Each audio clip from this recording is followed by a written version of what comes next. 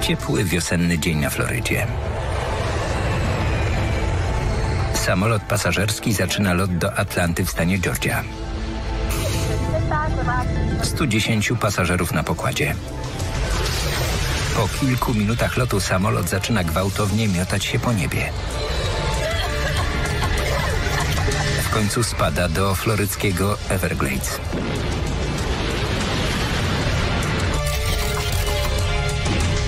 Cały znika w pełnym aligatorów bagnie. Przyczyna katastrofy jest tajemnicą. Dzięki symulacji komputerowej odkryjemy fakty kryjące się za jedną z najbardziej zaskakujących amerykańskich katastrof lotniczych. Dowiemy się, co się stało z lotem 592. Katastrofy nie zdarzają się tak po prostu. Są wynikiem łańcucha krytycznych wydarzeń. Odnajdziemy wskazówki i przeanalizujemy ostatnie sekundy przed katastrofą. Tuż przed tragedią. Katastrofa na Florydzie. Ameryka. Floryda. Międzynarodowy port lotniczy w Miami. 11 maja 1996 roku. 11.30 rano. 24-letniego Jaya Smitha wiezie na lotnisko dobry kolega Scott Clayman. Jay wraca do domu, do Montgomery w Alabamie. Jutro jest Dzień Matki i czeka na niego cała rodzina, zwłaszcza mama Susan, która go uwielbia. Jest wspaniałym dzieckiem. Nie wyobrażam sobie lepszego syna. Jest doskonały pod każdym względem. Jay przechodzi odprawę. Lot Value Jet numer 592 ma wystartować o 13. Jay jest dużo wcześniej, bo zaostrzono kontrolę.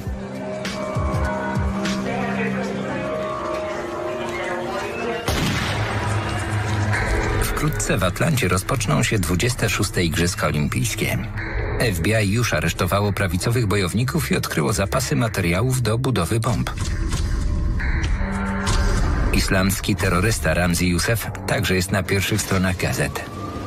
Oskarżono go o próbę wysadzenia Światowego Centrum Handlu. FBI uważa, że członkowie jego bandy nadal mogą być wolni i gotowi do ataku. Linie lotnicze mogą być głównym celem. Tym samym lotem co Jay Smith lecą Sue i Ron Carpenterowie. Pobrali się trzy dni temu w czasie rejsu po Karaibach. Brat Sue, Mike, cieszy się ich szczęściem. Nigdy w życiu nie była tak szczęśliwa. Ron chyba też. Mają podobne zainteresowania i dobrze im ze sobą. Są dobraną parą. Do Atlanty leci także kilkoro dzieci, a wśród nich Andrew Leonard, jego brat Jeremy i siostra Tabita, która za tydzień kończy 13 lat.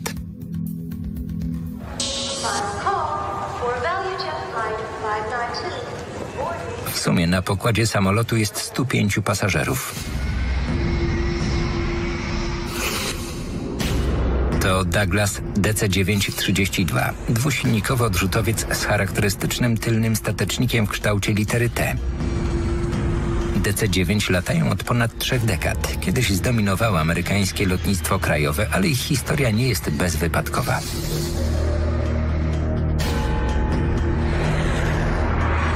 Od 1966 roku rozbiło się 77 DC-9. Zginęło ponad 1800 osób. Ten 27-letni samolot wylatał ponad 68 tysięcy godzin i obecnie jest własnością tanich linii lotniczych ValueJet.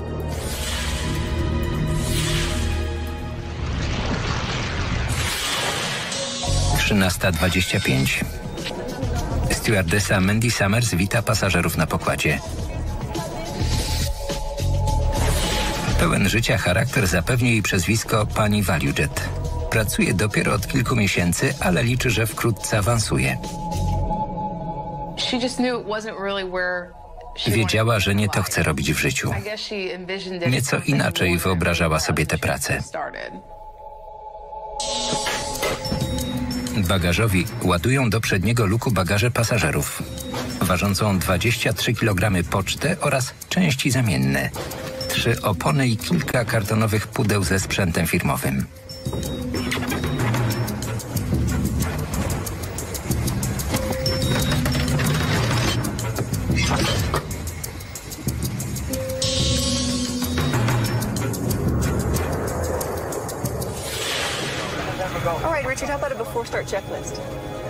Wylatała 2000 godzin na DC-9, a ValueJet znana jest z oddania pracy.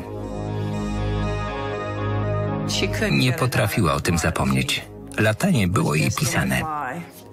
Gdzie indziej nie byłaby szczęśliwa. Dzień wcześniej Candy obchodziła 35. urodziny. W Dallas załoga zorganizowała przyjęcie niespodziankę na pokładzie samolotu i namawiała ją na tańce, ale jak zwykle odmówiła. Powiedziała, że dobrze wiedzą, iż nigdzie nie chodzi noc przed lotem. 13.30. Samolot ma pół godziny opóźnienia. Było kilka drobnych problemów technicznych. Autopilot nie działa jak należy. Wysiadł wskaźnik paliwa i łączność w kabinie. Była także usterka zapasowego obwodu hydraulicznego. Układy sprawdza pierwszy oficer, Richard Hazen. Jest weteranem lotnictwa z 20-letnim stażem.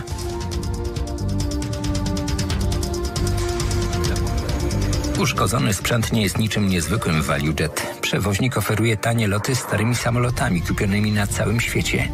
Jego flota należy do najstarszych w Ameryce. Średni wiek samolotów wynosi 26 lat i ostatnio zdarzały się wypadki.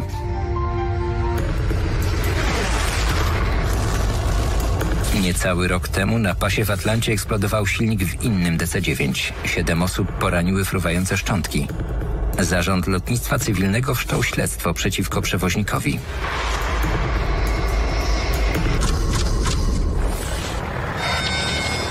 Trzynasta trzydzieści dwie. Lotnisko Opaloka, 16 km od portu lotniczego w Miami.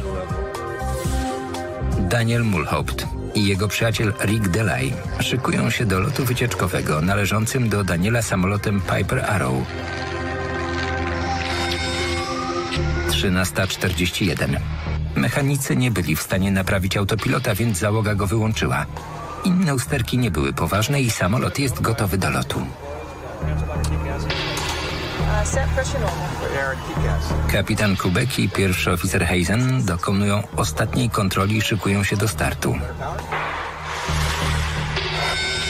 13.44 Po 44 minutach opóźnienia kontrola naziemna zezwala na start lotu 592. Sygnał wywoławczy Kriter.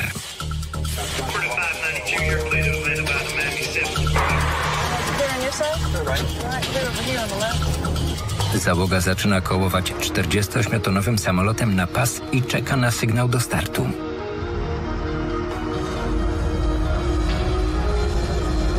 Czternasta trzy. 63 minuty po planowanym czasie startu. DC-9 zaczyna rozpędzać się po pasie i kapitan Kubek delikatnie unosi dziób samolotu. W końcu lot 592 wyrusza w drogę.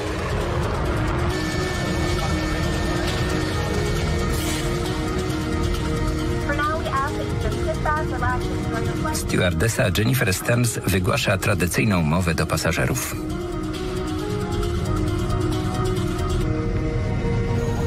Kapitan Kubek wznosi samolot na wysokość przelotową 10,5 tysiąca metrów.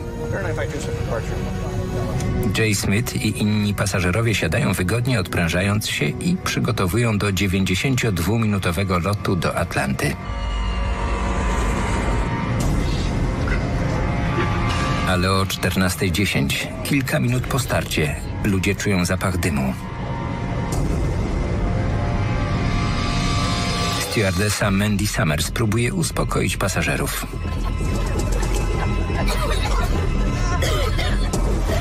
Ale temperatura rośnie. Dym gęstnieje z każdą sekundą. Lot Value Jet z Carpenterami, J.M. Smithem i 107 innymi osobami na pokładzie jest w poważnych tarapatach. Do 14.11 pogarsza się sytuacja w DC-9 zmierzającym do Atlanty. Dym wydobywa się spod podłogi kabiny pasażerskiej i gęstnieje. Jednocześnie pojawiają się kłopoty w kabinie pilotów. Słyszą huk w słuchawkach. Wiedzą, że jest problem z elektryką, bo uruchamia się zasilanie awaryjne i próbuje przywrócić napięcie. Potem dym zaczyna przedostawać się do kabiny pilotów. Critter 592 musimy natychmiast wrócić na lotnisko w Miami. Zrób zwrot w lewo. Zejdź na pułap 7000. Problemy? Critter 592 mamy dym w kabinie pasażerskiej i pilotów. Trzy kilometry dalej Daniel Mulhaupt steruje swoim małym samolotem. Widzi, jak duży odrzutowiec robi zwrot. Lecieliśmy i na godzinie 10 zobaczyłem samolot manewrujący wzdłuż kanału. 14.11 i 30 sekund. Na pokładzie DC-9 Kubek walczy z samolotem. Wygląda na to, że stery nie reagują jak należy. Temperatura w kabinie rośnie.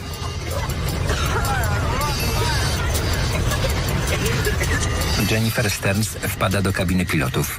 Chce wiedzieć, dlaczego piloci nie opuścili masek z tlenem dla pasażerów. Potrzebujemy tlenu. Nie możemy tego zrobić. Piloci odmawiają. Zdają sobie sprawę, że nie zdołają wrócić do Miami, rozpaczliwie pytają o najbliższe lotnisko. Pilnie potrzebujemy współrzędnych. Critter 592 pilnie potrzebuje współrzędnych najbliższego pasa. Ze swojego miejsca w awionetce Daniel widzi, że na jego oczach rozgrywa się tragedia.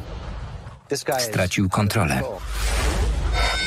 14.13 Na kanale poniżej Chris Osceola łowi ryby ze swoim wujem Samem Nelsonem, gdy zauważa DC-9.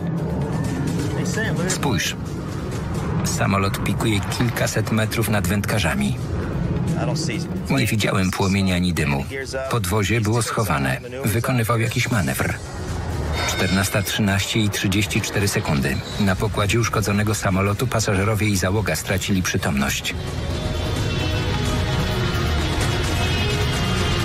14.13 i 42 sekundy. 9 minut i 27 sekund po starcie. Lot 592 rozbija się na bagnach Everglades.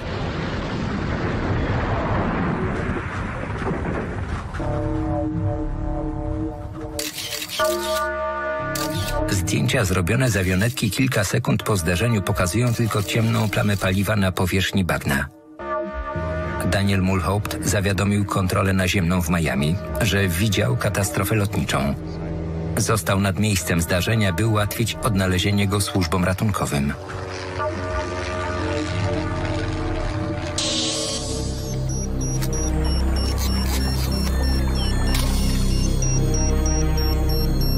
Wędkarz Chris Osceola także zrobił zdjęcie. Gdy dwaj mężczyźni wspięli się na wał, panowała niezwykła cisza.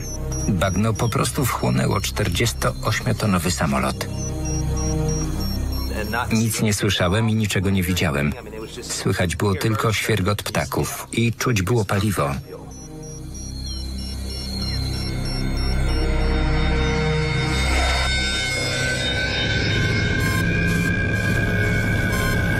Miejsce katastrofy jest 270 metrów od najbliższego wału i 14 kilometrów od najbliższej drogi.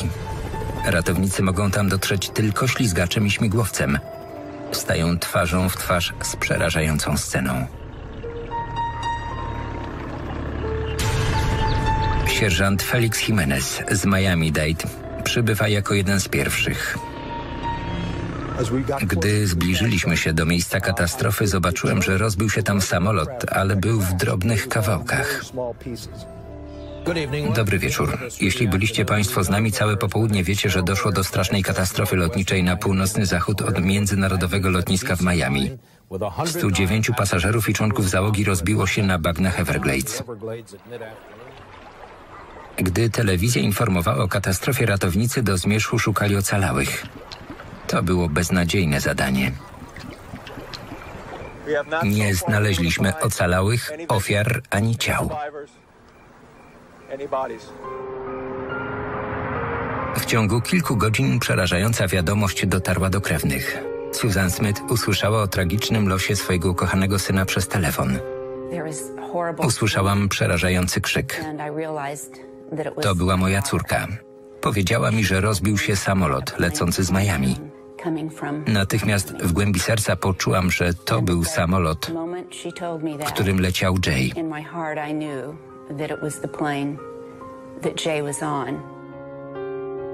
Jay Smith, lecący do domu na Dzień Matki, zginął, zanim jego życie na dobre się zaczęło.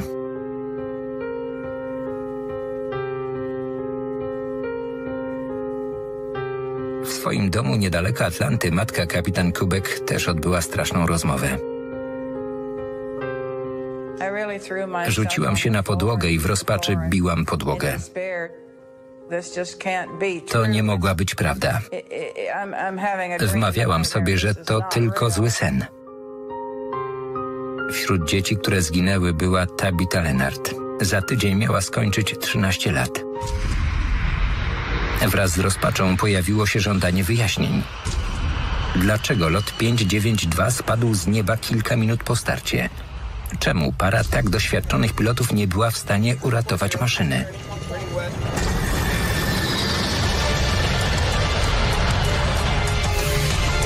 Analizując wydarzenia tamtego pamiętnego dnia i zagłębiając się w śledztwo, odkryjemy, co naprawdę stało się z lotem ValueJet 592. Nowoczesna symulacja komputerowa zabierze nas tam, gdzie nie sięga kamera. Do serca miejsca katastrofy.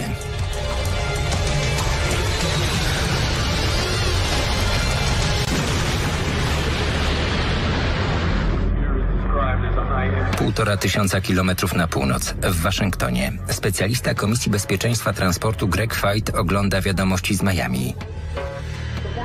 Wcześniej prowadził dwa poważne śledztwa, ale już wie, że to będzie wyjątkowo trudne.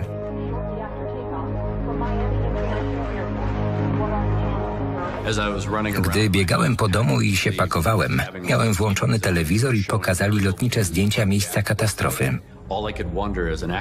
Zacząłem się zastanawiać, jak mam przeprowadzić śledztwo, skoro nie widzę wraku.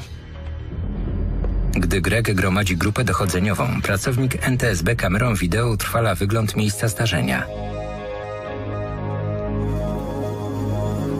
Dwie godziny po zaginięciu lotu 592 są w drodze do Miami i przelatują nad miejscem katastrofy. To szokujący widok. Niewiele tam jest. Konieczne jest ustalenie przyczyn wypadku, bo nadal lata ponad 800 DC-9. Ale Greg wie, że przy takim miejscu katastrofy będzie musiał tworzyć obraz zdarzeń, kawałek po kawałku.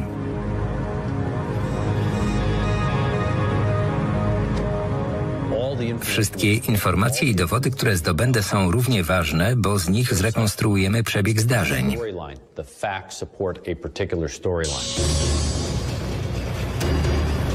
Dziura w bagnie ma 40 metrów długości i 12 szerokości. Ratownicy w specjalnych kombinezonach chroniących przed rozlanym paliwem lotniczym idą ramię przy ramieniu i przeczesują mętną wodę. Ale bagna prawie nie da się spenetrować. Pod wodą jest gruba warstwa zbitej roślinności. Kłoć kaleczy i oplątuje ratowników, którzy próbują przejść naprzód.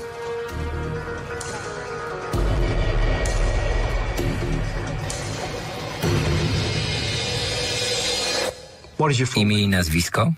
Jesse Lowell Fisher. Jesse Lowell Fisher. Zawód? Gdy trwa poszukiwanie śladów, eksperci Komisji Transportu przesłuchują ostatnią osobę, która rozmawiała z lotem 592. Kontrolera ruchu Jesse'ego Fishera.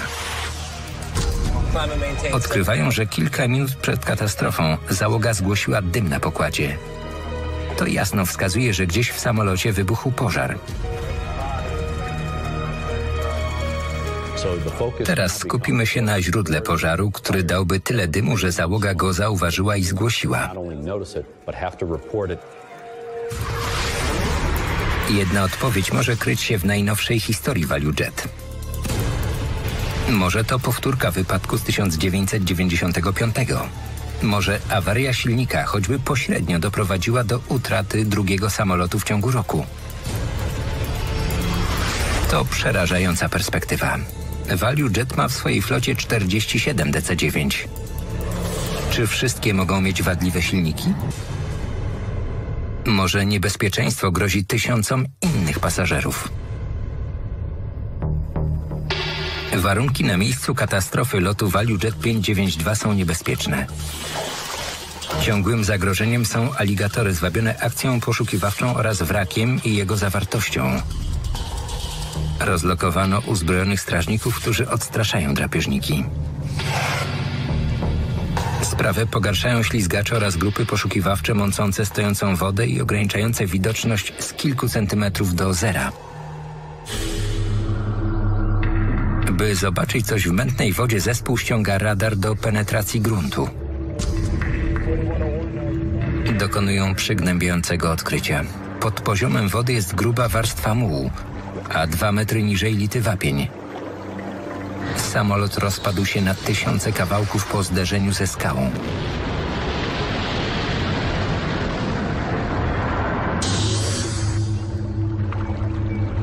Zespół zaczyna gromadzić wszystkie odnalezione szczątki na pobliskim lotnisku Kendall Tamiami, gdzie eksperci dokładnie im się przyjrzą.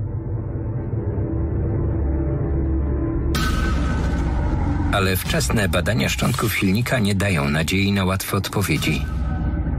Segmenty samolotu, kłoć i muliste bagno głęboko wniknęły pod obudowę silnika. Greg White wie, że to byłoby możliwe, gdyby zajmowali się zwykłym zdarzeniem. Nie może wykluczyć jakiejś awarii silnika, choć to mało prawdopodobna hipoteza.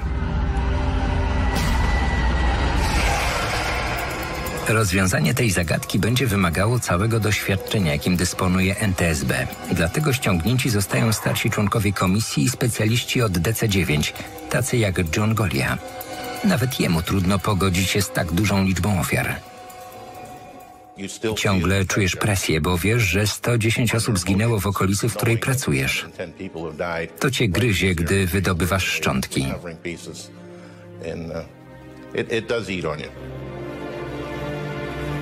Dla wszystkich śledczych poszukiwanie wskazówek jest przykrym zadaniem.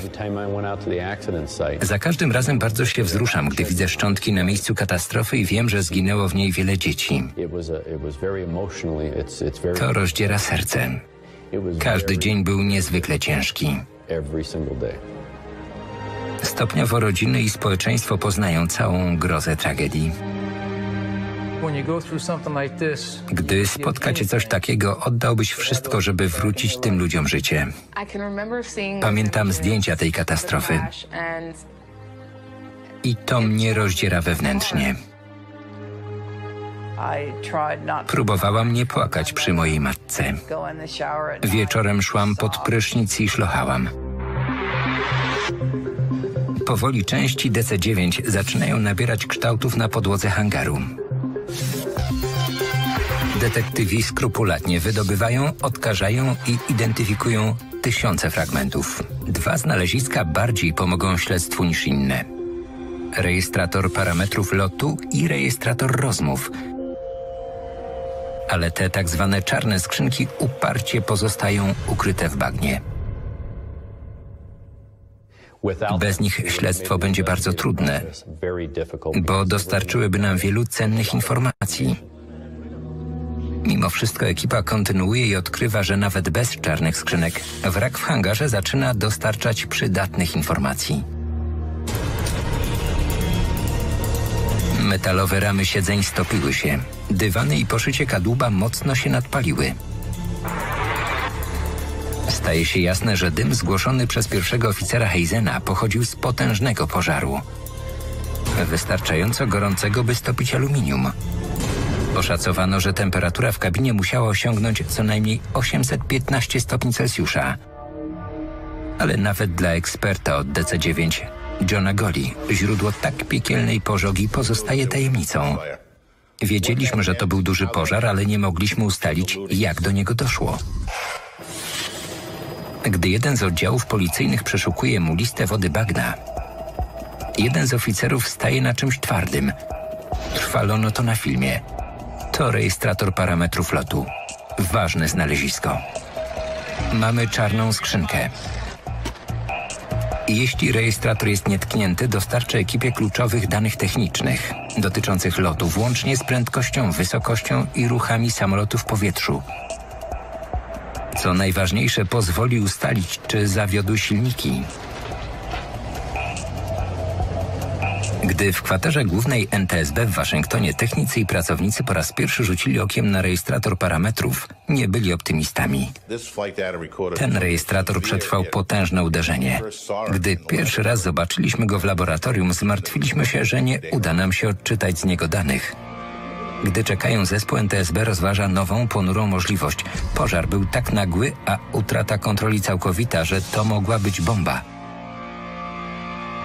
Czy Stany Zjednoczone będą musiały powiedzieć światu, że w południowych Stanach działają terroryści? Greg Fight musi odkryć sekrety katastrofy lotu 592. Co się mogło stać ze zwykłym DC-9 w czasie rutynowego lotu do Atlanty? Może to rozległe bagno jest miejscem zbrodni. Musimy ustalić, czy to był wypadek, czy zamach terrorystyczny. I jeśli to zamach, mamy do czynienia z przestępstwem.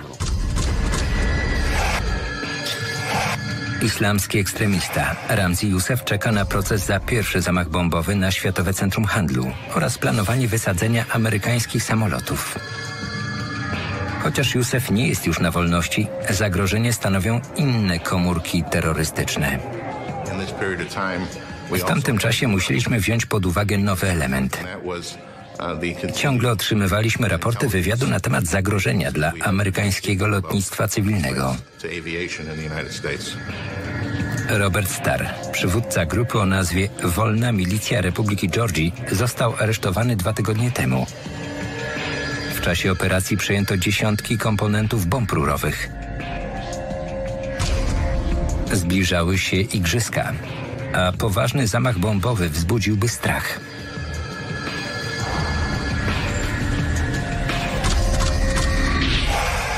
Ratownicy blisko współpracujący z FBI wysłali próbki szczątków do laboratorium.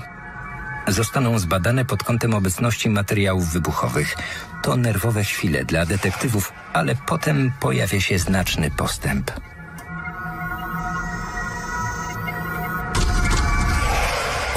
Po wielu godzinach delikatnej pracy analitycy NTSB pozyskują dane z uszkodzonego rejestratora parametrów lotu. Dowody są porażające. Przez ponad dwie minuty w samolocie były poważne usterki techniczne i elektryczne.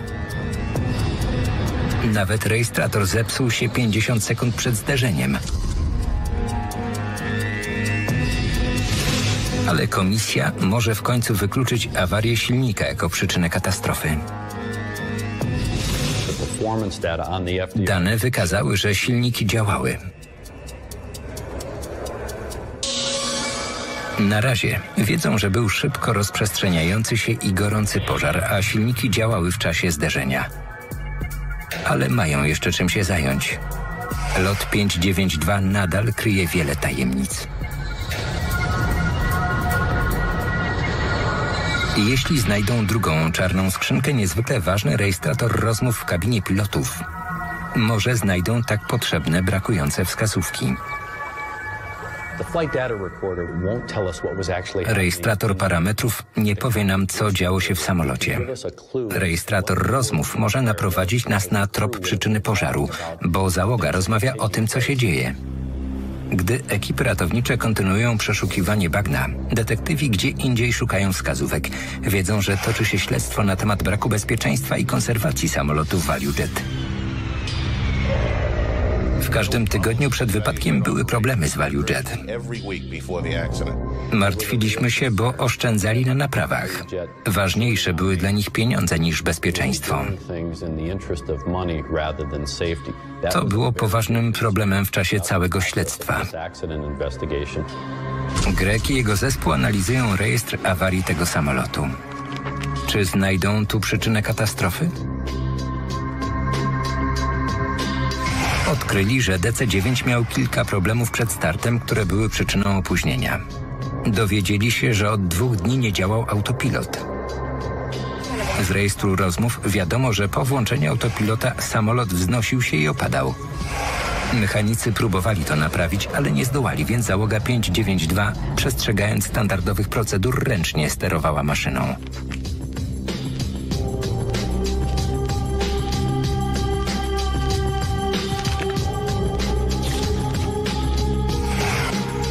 Zespół odkrył także, że wysiadł bezpiecznik zapasowego obwodu hydraulicznego, ale tym razem mechanikom udało się to naprawić.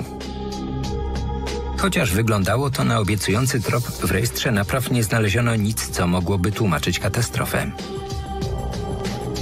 Było jasne, że żadna z tych usterek nie mogła być przyczyną pożaru. Potem wróciły wyniki badań z laboratorium FBI i detektywi, organizatorzy igrzysk, a nawet rząd federalny mogli odetchnąć z ulgą. To nie była bomba zapalająca ani żadna inna. Minął lęk, że będziemy musieli spojrzeć na to z innej perspektywy. Teraz mogą wykluczyć zamach terrorystyczny jako przyczynę katastrofy, ale fight nadal jest daleki od rozwiązania. Największą nadzieją na odkrycie przyczyn wypadku jest odnalezienie rejestratora rozmów w kabinie pilotów. Do niedzieli 26 maja Śledztwo trwało już ponad dwa frustrujące tygodnie. Dzisiaj w ekipie poszukiwawczej brakuje jednej osoby, dlatego sierżant Jimenez, policjant, który jako jeden z pierwszych przybył na miejsce katastrofy, na ochotnika wraca na bagna. Poszukiwania były trudne. Panował 30-stopniowy upał i była wysoka wilgotność. Niemal codziennie mieliśmy burzę i musieliśmy ewakuować miejsce katastrofy. W końcu nadszedł przełom, na który wszyscy liczyli. Zmówiłem krótką modlitwę i gdy tylko wróciliśmy do poszukiwań, wbiłem moją sondę w wodę i trafiłem na coś metalowego. To był rejestrator. To nie była odpowiedź tylko na modlitwy policjanta. Dla ekipy to ważny punkt zwrotny. Rejestrator rozmów pozwoli prześledzić ostatnie chwile życia załogi.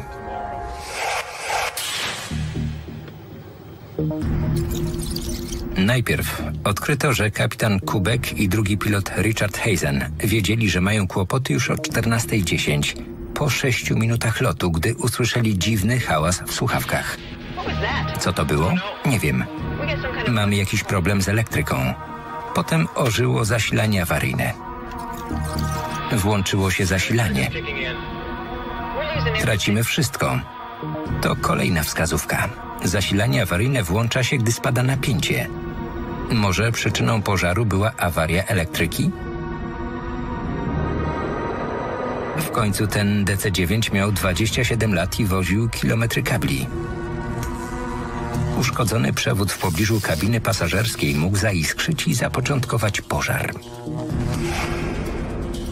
To trudne zadanie, bo niełatwo jest znaleźć takie zwarcie ale zachęcony rozmowami w kabinie i rejestratorem parametrów lotu, Greg mówi ratownikom, żeby sprawdzili resztki przewodów i bezpieczniki.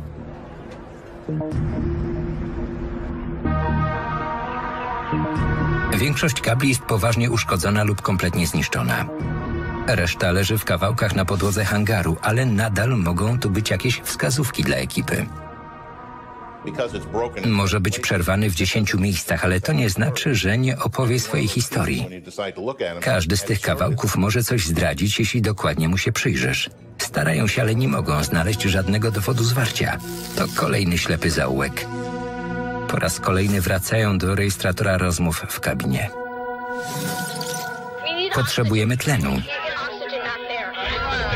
Niemal trzy minuty przed katastrofą stewardesa Jennifer Stearns otworzyła drzwi kabiny pilotów. To jasne, że najpierw pasażerowie zaczęli dusić się od dymu. Dla Fajta to znak, że pożar wybuchł gdzieś za kabiną pilotów. Detektywi w Kendall Tamiami skupili się na obszarze wokół kabiny pasażerskiej. Odkryli coś szokującego. Pożar był tak intensywny, że dosłownie stopił podłogę. Może jego zarzewie było gdzieś pod nogami. Na przykład w przednim luku ładunkowym?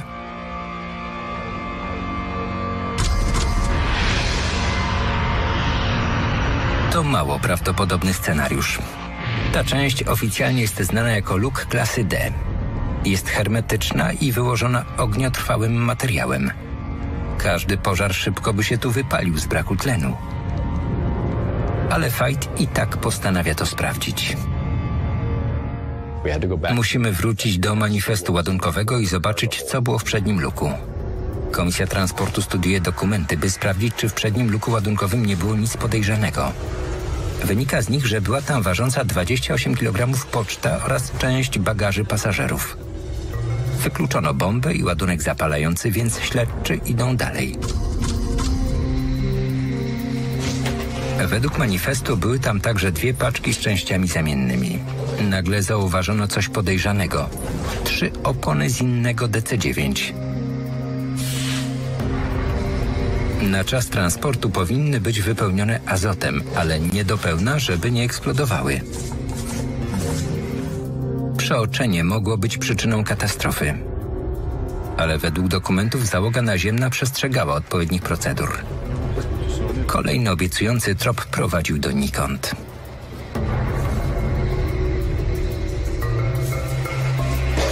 List przewozowy wymieniał także pięć kartonów z pojemnikami z tlenem.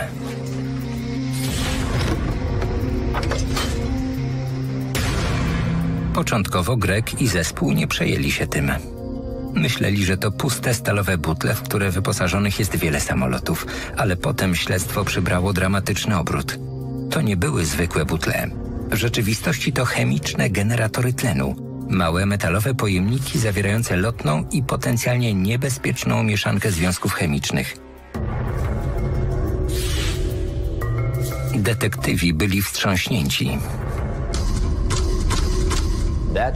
To całkowicie zmieniło oblicze śledztwa. Po zainstalowaniu dostarczają tlen pasażerom w razie zagrożenia. Są połączone z maskami cienkim przewodem podłączonym do iglicy. W czasie użytkowania wewnątrz zachodzi reakcja chemiczna, a powierzchnia pojemnika może nagrzać się do temperatury 260 stopni Celsjusza. Czy zapasowe butle złożone w luku ładunkowym mogły jakoś się aktywować i stanąć w płomieniach?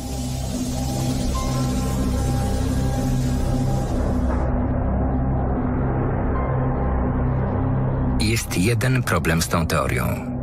Według listy przewozowej wszystkie pojemniki były puste, więc nie mogły być niebezpieczne. A może mogły? Przesłuchano pracowników firmy serwisowej SaberTech w Miami. Odkryto, że pojemniki w pudełkach na pokładzie lotu 592 usunięto z dwóch samolotów McDonnell Douglas MD-28, bo były przeterminowane.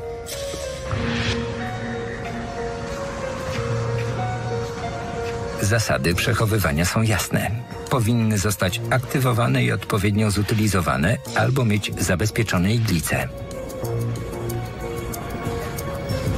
Według dokumentacji SaberTech pojemniki właściwie zabezpieczono, ale wtedy dokonano znaczącego odkrycia.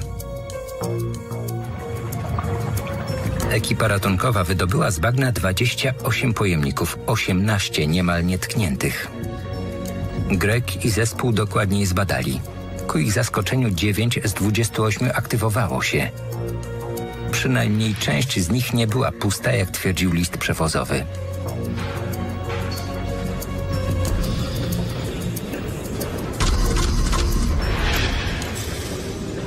Gdy później przesłuchiwali pracowników SaberTech, ci przyznali, że nie zabezpieczyli iglic tylko przykleili taśmą przewody do pojemników lub odcięli je i zakleili końce.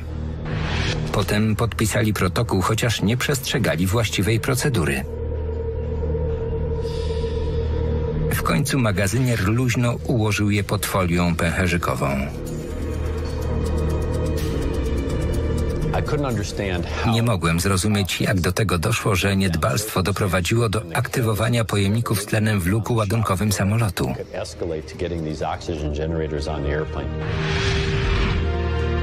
Na razie to tylko teoria. Grek i jego zespół nie mają pewności, czy pojemniki mogły wydzielić tyle ciepła, by wywołać pożar.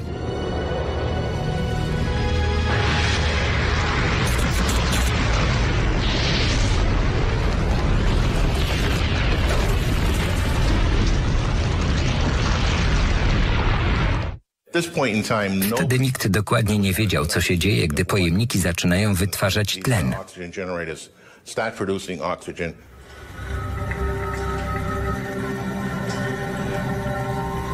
NTSB przeprowadziła ważny eksperyment. Stworzyli replikę luku ładunkowego w obiekcie Zarządu Lotnictwa Cywilnego pod Atlantic City. Technicy umieścili 28 pojemników w pudełku i przykryli je folią bąbelkową. Pociągnęli za przewód przymocowany do iglicy jednego z nich i uciekli. Mieli wielkie nadzieje, ale ciepło pojemnika wywołało tylko mały pożar i niewiele dymu. Żaden inny pojemnik się nie aktywował, a pudełko się nie zapaliło. Teoria Grega nie potwierdziła się. Pierwszy sprawdzian był zniechęcający. Zacząłem się zastanawiać, czy podążamy właściwą drogą. Odpowiedzi żądało społeczeństwo, przemysł lotniczy oraz przyjaciele i rodziny 110 ofiar. NTSB stanęło w obliczu kryzysu. Tajemnica katastrofy lotu ValueJet 592 okazała się twardym orzechem do zgryzienia. Wczesne wyniki eksperymentu sugerowały, że pojemniki z tlenem nie wytwarzają tyle ciepła, by wywołać pożar. Grek i jego zespół muszą spróbować jeszcze raz. Nie mają wyboru. Powtórzą eksperyment, ale tym razem dokładniej odtworzą warunki panujące w luku ładunkowym. Wykorzystają więcej pojemników, bagaż i opony samolotu. Tym razem pożar wybucha w ciągu kilku minut. Po 10 minutach dach eksperymentalnego luku ma temperaturę 1100 stopni Celsjusza. Minutę później rośnie o 430 stopni. Jeszcze 30 sekund i temperatura jest zbyt wysoka, by dokładnie zmierzyć ją sprzętem laboratoryjnym. Po 16 minutach słychać hałas, który jest ostatnią wskazówką. Eksplodowała opona w luku ładunkowym. Pojemniki z tlenem mogły wywołać i podsycić pożar.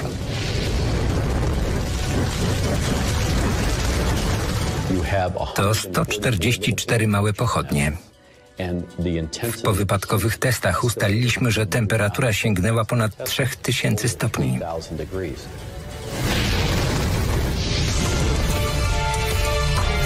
Teraz detektywi wiedzą, że do katastrofy lotu 592 doprowadziła seria krytycznych zdarzeń. Wiedzą, dlaczego wybuchł pożar na pokładzie, co go podsycało i czemu piloci stracili panowanie nad samolotem, co doprowadziło do katastrofy.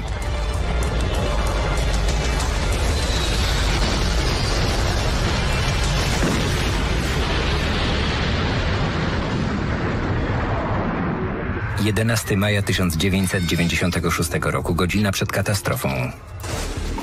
Kierowca Sabre Tech podjeżdża do bramki G2 na międzynarodowym lotnisku w Miami z ładunkiem dla lotu 592.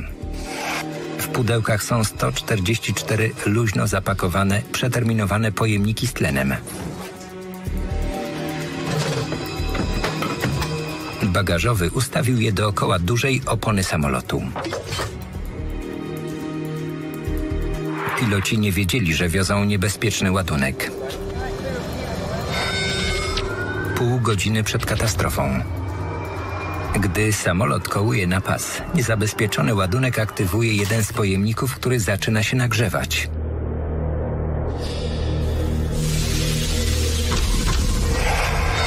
Jedenaście minut przed katastrofą.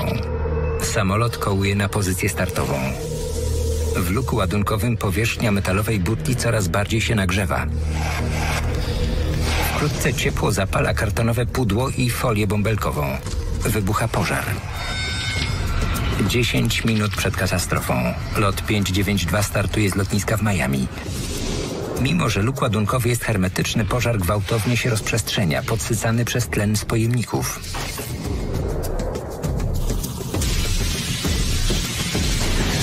Trzy i pół minuty przed katastrofą. Dźwięk, który usłyszała załoga, to eksplozja opony. Tak jak w czasie eksperymentu. Włączyło się zasilanie awaryjne. Wszystko tracimy. Zasilanie awaryjne nie mogło pomóc uszkodzonemu samolotowi, bo pożar pochłaniał wszystko na swojej drodze, włącznie z przewodami prowadzącymi na tył samolotu. Kapitan Kubek zaczęła tracić panowanie nad maszyną. Teraz temperatura w luku osiągnęła ponad 1650 stopni Celsjusza.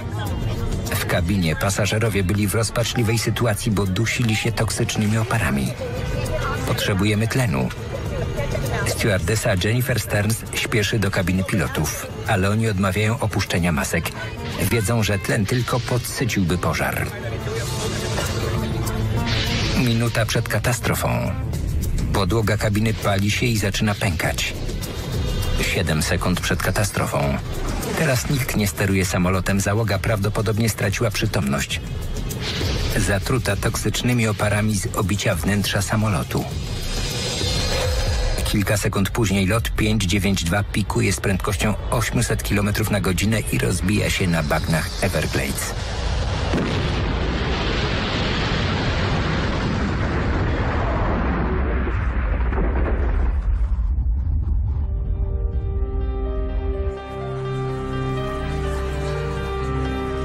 Niemal trzy miesiące po katastrofie krewni odprawili masowy pogrzeb dla 48 ofiar, których szczątki spoczęły w jednym grobie. ValueJet przejęła inną firmę i stała się AirTrain. SabreTech ukarano grzywną w wysokości pół miliona dolarów za swój udział w tragedii, ale zbankrutował zanim wypłacił pieniądze. Od 2001 roku system przeciwpożarowy jest obowiązkowym wyposażeniem. W Stanach Zjednoczonych trzeba tragicznego wypadku, żeby władze zmieniły przepisy. W tym wypadku musiało zginąć 110 osób.